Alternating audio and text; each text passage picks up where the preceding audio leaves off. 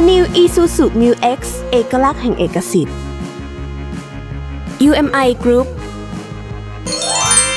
คุณผู้ชมคะแล้ววันนี้รายการว้าหวนแหวนก็มีแขกรับเชิญพิเศษ ซึ่งเธอคนนี้นะคะเป็นอดีตนักแสดงสาวอารมณ์ดีมากฝีมือ แต่ว่าเธอคนนี้นะคะก็ได้หายหน้าหายตาจากวงการไปเป็นเวลานานกว่า 10 ปีเลยทีเดียว เพราะว่ามีโรคร้ายรุมเร้าต่างๆ นานาเลยนะคะ จนถึงขั้นทำให้เธอนั้นไม่สามารถทำงานได้ แต่วันนี้เธอสามารถมีชีวิตอยู่กับสารพัดโรคร้ายอย่างอารมณ์ดีได้อย่างไร เธอจะมาเล่าให้เราได้ฟังกันค่ะ วันนี้รายการว้าหวนแหวนต้องขอต้อนรับคุณปุ๊กกี้ชุลีพรดวงรัตนตรัยค่ะ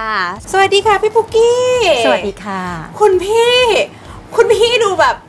ขออนุญาตนะคะ ดูค่ะปกติมากอะดูไม่ป่วยเลยอ๋อจริงๆ แล้วเป็นคนป่วยค่ะ แต่ว่าเนื่องจากดูแลตัวเองมีวินัยเข้มงวดกับตัวเองก็เลยก็เลยแข็งแรงขึ้นในระดับหนึ่งค่ะ ดูสดใสมาก แต่ตอนนั้นน่ะข้องใจมากเลยที่ว่าเห็นข่าวว่าคุณพี่เนี่ย ไม่สบายอย่างมากจนถึงขั้นต้องออกจากวงการใช่เป็ค่ะนเรื่องใหญ่มากตอนนั้นนี่คือจริงๆแล้วอาการเป็นยังไงสามารถเล่าได้ไหมคะ คือเริ่มต้นจากเบาหวานก่อน ตั้งแต่อายุยังน้อย อายุเท่าไหร่เอ่ยอายุยังไม่ตอนนั้น20 ก็เป็นเบาหวานฮะค่ะ18 19เป็นได้ยังไงอะก็มันได้พันธุกรรมจากพ่อแม่ค่ะ ทีนี้พอโอ้พอเออเราเป็นเบาหวานแล้วเรา เรายังแข็งแรงอยู่ ยังทำงานได้อยู่นะคะ ยังยังสามารถเล่นละครได้ ตอนนั้นเป็นหนักขนาดไหนคะ เป็นธรรมดาค่ะ มันก็เริ่มต้นเป็นเริ่มเริ่มๆอะนะคะ พอเริ่มเริ่มๆเราก็รักษา เพราะเราก็กลัวว่ามันจะเป็นหนักค่ะแต่พอเรารักษาไปสักพักหนึ่งเราเกิดอาการขี้เกียจอะค่ะเพราะว่าเป็นเป็นคนอ้วน เริ่มหมดวินัย เป็นคนกินเก่ง เป็นคนกินแบบไม่บรรยะบรรยังเหมือนดูกินเลยกินแบบสวาปาม แต่ว่าไม่เห็นเป็นไรเลย มันก็ยังแข็งแรงอาการยังทำงานได้มันยังไม่ถ่ายละครออกได้เช้าเย็นมืดอะไรทำงานได้พิธีกรอะไรทำได้หมดอ๋อเพราะฉะนั้นก็เกิดอาการเขาเรียกว่าประมาทกับชีวิตจนกระทั่ง มันค่อยๆ ไปเรื่อยๆเรื่อยๆเรื่อยๆลามเป็นโรคแทรกอะค่ะโอ้โหโรคแทรกของเบาหวานก็คือความดันมันซึ่งมันเป็นมหันตภัยเงียบ มันก็ลามไปไต มันผ่านไประยะหนึ่งมันก็หนักขึ้นหนักขึ้นหนักขึ้นเรื่อยค่ะๆถึงกับถึงขั้นไม่มีแรงในการทำงาน จนคือร่างกายบอกว่าไม่ไหวแล้ว ใช่ค่ะ ตอนนั้นนี่คือเริ่มจากเบาหวานแล้วไปความดัน แล้วหลังจากนั้นอะไรตามไปไปอีกไตเลยไปเบาหไตวานมาไต ใช่ค่ะ แล้วต้องฟอกเลือด ตอนนี้ก็ต้องฟอกเลือดตลอดชีวิต โอ้โห แล้วแล้วเบาหวานกับไตนี่มันเกี่ยวกันยังไงอะทำไมมันถึงมาเป็นต่อต่อมันเป็นโรคชื่อมๆแพ็กเกจได้สี่พี่น้องอะว้าค่ะค่ะทีนี้พอพอคนเราเนี่ยมันมันอยู่ในจุดที่เคยทำงานทำการ 7 วัน แล้วทำไม่ได้ แล้วมันก็ลันทดสลดหดหูเพราะว่า ไหนจะร่างกายสุดโทรมไหนจะจิตใจที่มันไร้ซึ่งกำลังใจค่ะไหนจะคือมันมันต้องเจอทุกสิ่งอย่างที่เป็นความทรมานของโรคอะค่ะแล้วพอไปเล่นละครมันไม่มีแรงเล่น มันต้องฝืนใจเล่น ทีนี้พอเราฝืนใจเล่นแล้วเราต้องฝืนใจทำงานเนี่ยงานประสิทธิภาพมันก็ออกมาไม่ดี สู้หยุดซะดีกว่าค่ะก็เลยหลบไปรักษาตัวค่ะจนกระทั่งต้องเข้าไปเอาธรรมะมากล่อมเกลาจิตใจ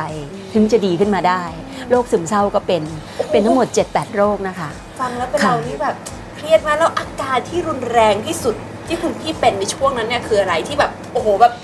พีคสุดละตอนนั้น ตาก็จะบอดหูก็ไม่ได้ยินถึงนะขั้คะนจะบอดเลยใช่ค่ะ เพราะว่าเบาหวานขึ้นตาหูก็ดับไปข้างหนึ่งแล้วก็มีเสียงขยะเข้ามาในหูเออสมมติว่าน้องแหวนพูดว่าพี่ปุกกี้ข้างที่ได้ยินที่ดีจะเรียกว่าจะได้ยินว่าพี่ปุกกี้ค่ะแต่ข้างที่ไม่ดีจะได้ยินว่าแสกแสกแสกฟ้าฟ้าฟ้าเฮ้ยควากควากควากในเวลาเดียวกันในหูข้างนี้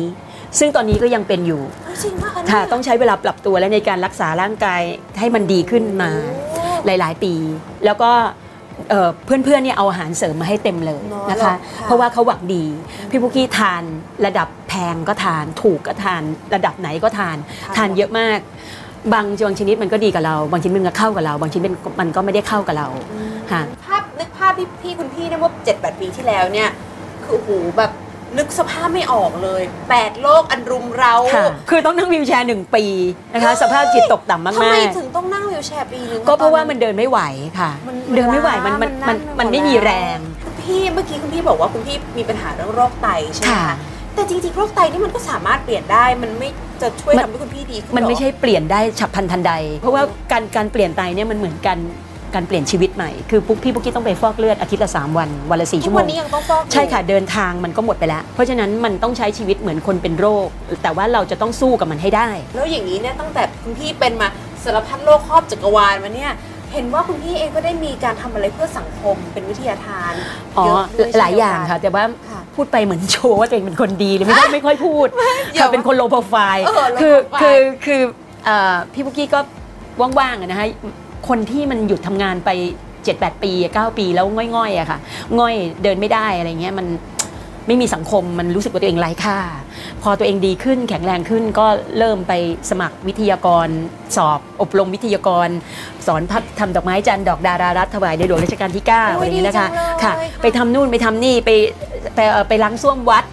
ไปโอ้ยไปทำสารพัดค่ะเยอะแยะที่ทำค่ะมันคือทำแล้วรู้สึกว่า ตัวฉันมีค่าฉันมีความสุขใจ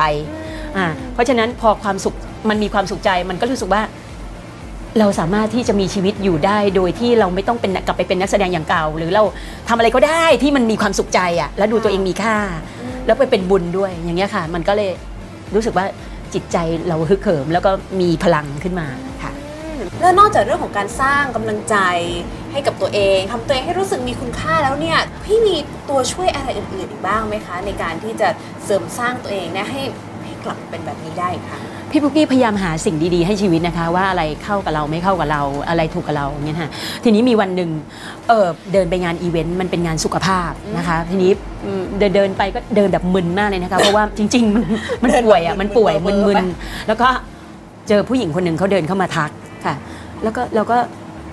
มันมันป่วยจนขี้เกียจคุยอะมันไม่อยากคุยกับใคร แต่ว่าเขาพูดมาเขาก็มาบอกว่าเนี่ยนะเขาจะเอาให้เนี่ยไปรับประทานมันเป็นข้าวกล้องหอมนินนะคะ ให้ประทานแล้วก็ก็พูดยาวมากเลย พี่พุกกี้ก็แบบจะปฏิเสธมันก็ยังไงไม่รู้อะก็คือคือเราอะได้รับของจากคนเยอะมากนะคะ แล้วมันก็มันก็ทานไปมันก็มันค่อยถลายอะไรอย่างเงี้ยนะคะเราก็รับมาด้วยความเกรงใจ แล้วก็ไม่ทานเอ้าก็มาตั้งไว้ที่บ้านประมาณหลายเดือนหลายเดือน มีวันหนึ่ง ก็เอามาดูเอามาอ่านซิก็เออกินซิอะไรอย่างเงี้ยคือมันงั้นๆน่ะไม่ได้ไม่ได้ตั้งใจอะไรเลยค่ะแล้วพอพอกินไปอะถ้าเราทำอะไรเราควรจะทำให้มันสม่ำเสมอนะ ก็เลยกินกินให้ต่อเนื่อง อืมในเมื่อเราเจอสิ่งที่ดี เราอยากจะบอกต่อกับกับท่านผู้ชมหลาย ๆ ท่านที่อาจจะมีอาการป่วยหรือว่าอาการไม่ป่วย อยากจะบอกสิ่งที่ดี ๆ ที่พี่พุกกี้ได้รับค่ะค่ะ อันนี้คืออยากบอกอืม นะคะ แล้วไอ้เจ้าตัวที่ว่าเนี่ยมันคืออะไรคุณพี่ มันคือจมูกเข้ากล้องหอมนินนะคะ วันนี้นะคะพพี่ปุกกี้ไม่ได้มาคนเดียว พาผู้หญิงที่เขาเดินมาพูดกับพี่ปุกกี้พามาด้วยไหนชื่อไหนคุณชื่ออยาคุณก้อยกให้อยากจะให้เขาเดินมาพูดค่ะให้หนูฟังบ้างว่าวันนั้นได้ค่ะเนี่ยตอนที่เจอคุณพี่ตอนเบลอๆเนี่ยพูดอะไรบ้างเพราะเราก็อยากรู้ว่าย่าจมูกเข้ากล้องหอมนินตัวนี้เนี่ยมันมีสรรพคุณยังไงงั้นเดี๋ยวขออนุญาต ให้คุณก้อยร่วมพูดคุยกับเราได้ได้ไหมเอ่ยวันนี้ได้เลยค่ะ และช่วงหน้าเราจะมีการพูดคุยเรื่องการดูแลสุขภาพกับคุณก้อย จะเป็นยังไงนั้นติดตามชมกันในช่วงหน้าค่ะ